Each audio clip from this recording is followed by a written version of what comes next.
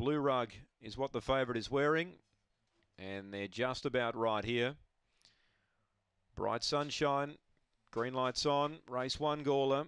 Thanks, Steve. Race one here. They're ready. Racing, Long Gully Grant second away, speed crazy times. Long Gully Grant through to seconds, about a length away and hugs the rail. Two away then to Quick Burn, third as they go down the back.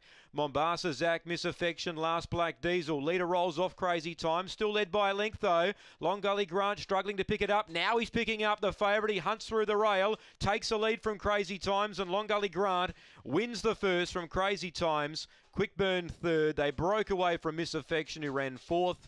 And out the back, Black Diesel and Mombasa Zach. Time here around 23.20. So Long Gully Grant, the winner. Long Gully Grant, number four, defeats two, Crazy Times, who led, gave a real good